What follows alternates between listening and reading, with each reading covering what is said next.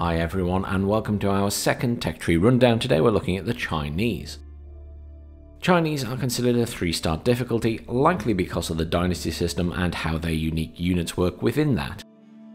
They get very good gunpowder units, and they're apparently very good at expansion. I expect that's related to the bonuses they get to building. The Chinese can shift their focus across the ages, deploying many unique units and building rapidly. Enemies must continually adapt if they want to keep up. Great dynasties construct both landmarks in an age to start a dynasty, with unique bonuses, buildings, and units. So, when you age up with a normal civilization, you get a choice of two, and you build one of them, and the other one becomes unavailable. With the Chinese, you can build both the landmarks. Obviously, that costs you double what it costs to age up, so it's going to affect your economy, but it will also give you access to a particular dynasty, which will give you access to some unique units, and we'll talk about those as we go through the tech tree.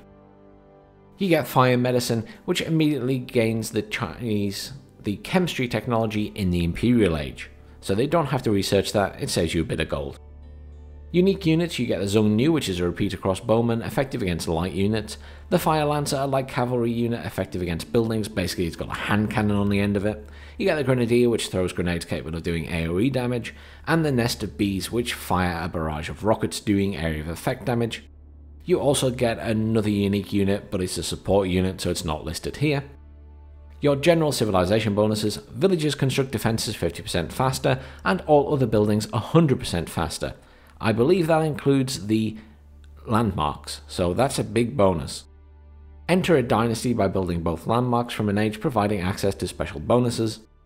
Chemistry technology is gained for free when advancing to the Imperial Age, and docks work 20% faster. Nice bonus if you're on a water map, though I would still prefer to go with the French for their early hulk, for that little bit of early game control of the waterways. Let's now have a look through the tech tree. Starting with the Dark Age, you get the Tang Dynasty. This gives all your scouts a 30% line of sight, and you just get that at the start, you don't have to do anything. Then you get your town centre. Villager Scout, what you get here as a bonus is a support unit I referred to, and this is the Imperial Official. This is an economic support unit with no combat capability.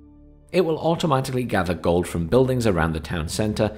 It can also be tasked with improving a building's efficiency but you can only have four of these at once if it's the same as the beta. I have not yet played them properly in this version of the game.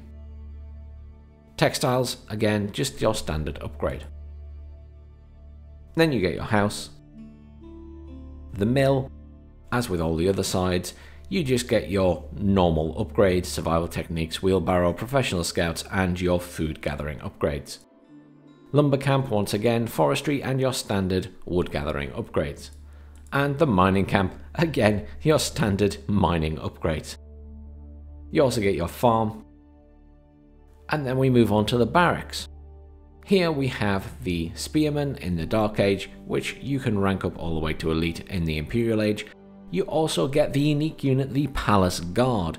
The Palace Guard is the Chinese version of the Man at Arms. However, rather than a sword and shield, they carry a two handed pike, I suppose, with a moonblade on the end. So slightly different to a man at arms, but filling the same role of heavy armour. You also get the unique upgrade, the Battle Hardened upgrade, which increases the health of Palace Guards by 30 in the Imperial Age.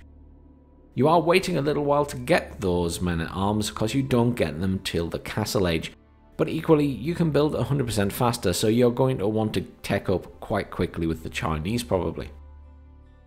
Then you have the dock, which you get the fishing boat and transport ship in the Dark Age, your trade ship and junk in the Feudal Age. Then you get your war junk with a ballista in the Castle Age and your explosive junk. Again, not too many players use these. And then you get the Baochuan, which is the warship with all the cannons. Upgrades wise, you get extended lines and drift nets, the usual fishing upgrades. You get a unique technology here for the Chinese, the extra hammocks. Junks of the Archer ship type gain additional crew, allowing them to fire two more arrows in each volley. Obviously, you don't get this till the Castle Age. It'd be nice perhaps if that was there in the Feudal Age to back up the ships that you're actually going to be building then. Then you get your Navigator Lookout, the usual upgrades in the Castle Age, Jumping back to the feudal age, because it's in a funny order, you get your additional sails technology to increase all the movement speed by 15%. Then you get your extra ballista in the castle age, and then finally your chaser cannons and explosives upgrade in the imperial age. Nothing too special there except the hammocks. You get your palisade wall, gate, and outpost. Nice thing for the Chinese here, rather than getting arrow slits, you get hand cannon slits, so that should be doing a little bit more damage than arrows. You also get Fortify Outpost and then have the choice to put a Springald emplacement or a cannon emplacement on that tower. Now moving on to the Dark Age landmarks. The first you have the Imperial Academy, which allows nearby buildings to generate 100% tax gold. This is using the influence system, and this comes back to needing to build your base in a certain way. You will want to put buildings that are going to be used frequently, either that being resource gathering buildings or production buildings around this, to get the most out of it. You also get the unique upgrade here, the Imperial Examinations, which increases the maximum amount of gold carried by Imperial officials from 20 to 40. The second unique landmark is the Barbican of the Sun. This fires long-range hand cannon and adds arrow slits while garrisoned. It offers vision into stealthed forests. This can be a very good early game defensive building depending on the map you're on and careful placement. Also bear in mind that with the bonus to Chinese building, you could certainly build this somewhere near the enemy base to deny them some kind of resources. I've seen it used in the beta in the middle of the map, for example, to stop people getting resources on King of the Hill. If you build both of those landmarks, you get access to the feudal age Song Dynasty. The Song Dynasty villager production time is reduced by 35%. You get the unique building in the village and the unique unit the Zhongnu or the repeater crossbowman. Later dynasties remove these bonuses. This is something you need to be aware of with the Chinese when you go up through the dynasties, you lose access to what you previously had. You will definitely lose access to the buildings, you will definitely lose access to the villager production time bonus, and you will temporarily at least lose your access to the Zhongnu. It is possible to get access to the unit again. So the village is a unique building to the Chinese, which increases the maximum population by 40. It only costs 100 wood and it is well worth building a couple of these.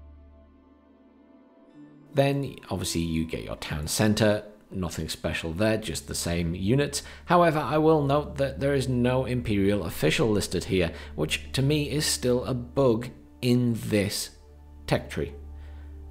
Pretty sure that was the same in the beta as well. I need to message them about that because they need to be aware it needs updating. Then you get access to the market which just has your trader and then obviously you have the blacksmith. Nothing too special here. You get your melee attack, ranged attack, melee defense and range defense, siege engineering which gets you access to towers and battering rams, and obviously the military academy which reduces the time it takes to produce infantry, cavalry, siege, and transport units by 25%. Nothing special there. You get your battle ram and siege tower as discussed. Then you get your archery range, and this is where we start talking about a couple of special units. So, in the feudal age, you get access to the archer, and presuming you have built both of the buildings, you also get access to the Zhongnu. This is a rapid fire archer. It's sort of a cross between a crossbow and an archer and you can keep access to this if you never change dynasty or if you build both buildings or one of the buildings in particular in the castle age to go to the imperial age. But we'll discuss that when we get there. You then get your crossbowman in the castle age. You get your hand cannoneer in the imperial age. And obviously depending on what you build you get access to the grenadier. Of course, you also have your stable in the feudal age, which gets you access to the Scout and the Horseman. You then get Lancers in the Castle Age and also the Fire Lancer, assuming you upgrade and build both of your landmarks. The Fire Lancer is an unarmoured cavalry unit wielding an explosive tipped lance for impressive charge attacks. Obviously, again, you would technically lose access to this if you don't build a certain building, but you can keep access to it in the Imperial Age if you so wish. stone walls, stone wall gate, and stone wall towers, all available as standard. Now we move on to the feudal age landmarks. First you have the astronomical clock tower, which acts as a siege workshop and produces siege engines with plus 50% health. Pretty much standard, Springald, nest of bees, counterweight trebuchet, and the clock tower bombard. The only difference is obviously they specifically are called the clock tower, Springald, etc. They're all standard in their damage, they just get that extra health bonus. The second landmark is the Imperial Palace. It has a large sight radius and activated to view location of enemy villages for 10 seconds. Basically it has a little activatable ability when you select it that will reveal the enemy villages across the entire map. If you build both of these, you get access to the Yuan dynasty. Villagers, officials and military units gain plus 15% speed, unique building the granary, and unique unit the fire lancer. Later dynasties remove these bonuses. I keep saying that because you need to remember this.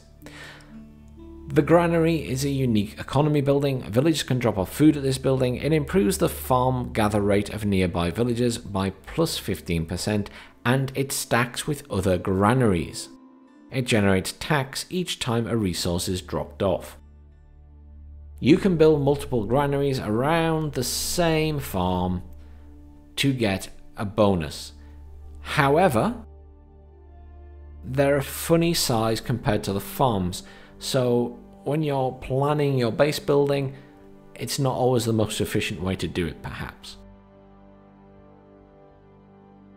You also get access to your keep, which has your usual upgrades, the Springald emplacement, cannon emplacement Imperial Age, boiling oil. You also get access to unique Chinese technology extra materials.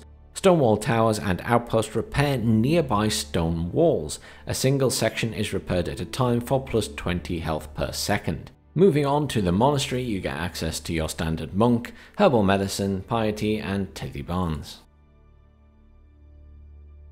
Then the siege workshop, you get a Springald, your unique nest of bees, your counterweight trebuchet, greased axles available in the Castle Age, you get access to the Bombard in the Imperial Age, along with your other upgrades. Your unique upgrades available here are reload drills, which reduces the reload time of bombards by 33%. You get reusable barrels, which reduces the cost of the nest of bees by 25%, and you get access to pyrotechnics, which increases the range of gunpowder units by 20%. Some very nice gunpowder bonuses for the Chinese there. Then, your final two unique landmark buildings. The first is the Great Wall Gatehouse. It must be built over a stone wall. It increases the health of stone walls and gates by 100%, and nearby troops on walls deal 50% damage. So very good to have at the front access point to your base, however bear in mind that it is a landmark, so if it is destroyed it counts towards that victory. Then you also get the Spirit Way. All buildings can create previously achieved dynasty units. So this is what I was referring to when I said you will be able to get access to the units at a later time. So building the Spirit Way will give you access to the Xiongnu, the Fire Lancer, and also if you build both of these landmarks, the Grenadier. So you don't lose access to those units necessarily if you build the Spirit Way. However, you have to have achieved the previous dynasties as well. So it's only if you previously had access to them. If you haven't built all of the landmarks, then you will not get access to the relevant unit. Buildings near this landmark produce dynasty units at minus 30% cost. Again, with the Chinese, we're talking about this influence system, you want to be building this somewhere near your production. So where you have all your barracks, where you have all your archery ranges, you need to be building it somewhere near those. Then you get the Ming Dynasty in the Imperial Age. This is if you build both the Great Wall and the Spirit Way. Military units gain plus 10% health. You get the unique building, the Pagoda, and the unique unit, the Grenadier. The Pagoda is a building which you can place a relic in, and it generates 50 food, wood, gold, and stone every 30 seconds, and it also generates tax over time. So a very good building to build, it's not too expensive. If you have access to relics, it's going to give you a constant source of income at the late game. Then you get access to the university in the Imperial Age. Chemistry you get automatically, so although it's listed there, that automatically researches as soon as you get to the Imperial Age. You get the geometry, biology, incendiary arrows, court architects. Ancient techniques is a unique technology to the Chinese and increases the gather rate of villagers by plus 5% for each dynasty achieved. So I assume that means that you get it automatically at 5% if you've achieved the very first dynasty, which you start with in the game anyway, and then up to a maximum of 20% if you've done the following three. You also get your usual elite army tactics, and then your wonder is the Enclave of the Emperor.